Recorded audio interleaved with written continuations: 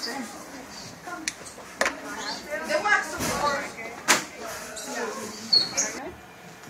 most of you chose to interview your mother in this class, an, an aunt, oh, Miss Falella, a former teacher. Most of the interviews were 30 minutes. Someone was 45. I had a few 45 minute interviews before. It depends upon the person you're interviewing. See, this is one way you can gather historical evidence. You probably you probably pass by it every day, right? Someone said it's near farm. It is. Right? This was put up specifically to honor the memory of Captain Ogonowski. It's right on Broadway Road in front of the Ogonowski Farm. If you drive by there now, they're selling lots of flowers because it's fall, and they're selling mums. They grow they grow things there. It's an active farm. And on the other side of the monument, it says, "In memory of Captain John A. Ogonowski, pilot, American Airlines, Flight 11." He was born on February 24, 1951, and he died on September 11th, 2001. He was a pilot, a farmer, and active in land preservation, environmentalist, and he was a conservationist. He actually was a trained pilot. He served in Vietnam and was a veteran. He worked as a pilot in 2001, part-time. He only flew twice a week.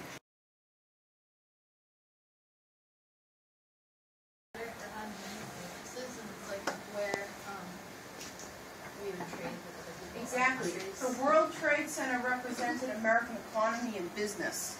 So the symbolism is American business or economy.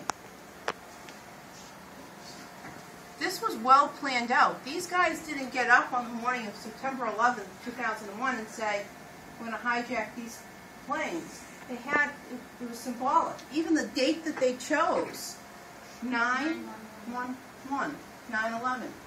If you dial the police or the fire department for an emergency, what's the number you dial? 911.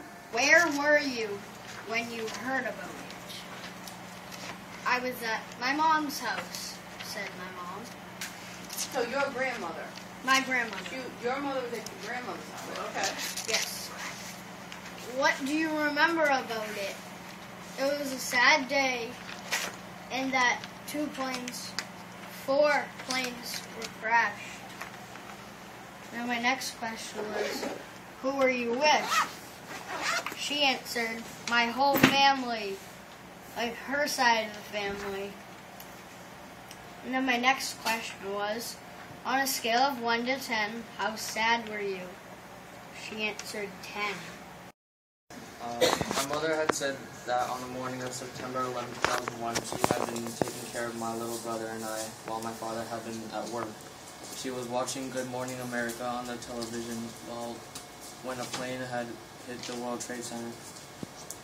At first, she thought a tourism plane had gone off course until she noticed another plane crashed into the World Trade Center in the background. It was soon announced that after 20 years without a threat, America had been under attack. My mother was trying to explain to my father over the phone what was happening. A reporter from the Pentagon was speaking in an interview when an explosion was heard and the Pentagon had been attacked in the same way.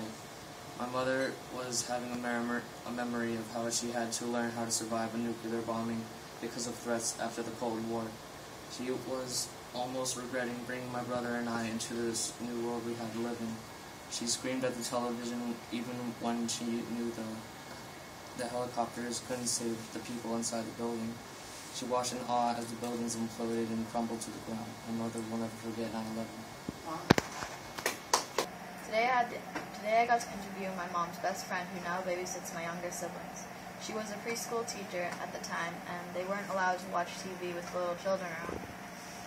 She started to see parents who were coming in sad, more sad or they were scared and depressed and would not leave their kids.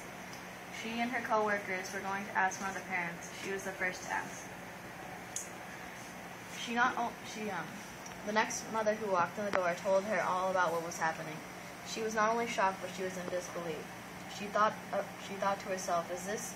It's such a shame that A loving country is now being terrorized by people who don't even live here. The next thought that came to her mind was that she had she had family who lived near there. She was terrified and frantically calling them to see if they were safe. The phone lines were down, so she was very scared, but she had to go through her normal routine with the kids. What was it like to watch documentaries and hear people talking about the 9 11 attacks on the Twin Towers? It's very hard for anyone who remembers it, not just from hearing about it, it's extremely hard to remember. What is your opinion on the choice that the victims inside had to make, which is jumping out of the building or having their lungs be burned out? She said it's hard to imagine the choice that they needed to make. I believe that it took a lot of courage to even think about jumping out. It sounds strange, but to die fast or quick is a truly heroic act. But if I was in that situation, I don't think I would know what to do under the circumstances that they were in. John Collins for the Lowell Sun. We're in the hallway of Lakeview Junior High School with Tricia Wojdas, who is a, a freshman in high school here in Dracut. Last year took Rebecca Duda's eighth grade history class, talking about 9/11 today because it is September 11, 2013. Uh, your dad's a firefighter, and you know so many firefighters uh, perished in, in 9/11. That must have added significance for you, you and your family, Tricia. Yeah, it really is. Yeah. What do you think of when you think of this date? Is it uh, something that you found out about through your parents? Well, I just kind of grew up knowing about it. Like, oh yeah, that's a terrorist attack that happened when I was little, too little to remember. And it's a really tragic event that's a sore topic for some people. You were in preschool, right? Yeah. What did your parents tell you about that day? Um, The events of that that when they found out? when I was in preschool, what did they tell me? Oh no, like I mean, I mean, you, they what did they tell you now Um, about how they found out? well, just like I said, through um, a phone call from a friend and how they watched it on the news. And it was hard, especially for my dad and my mom being a nurse with all those people too, Right. like dying and stuff. Yeah.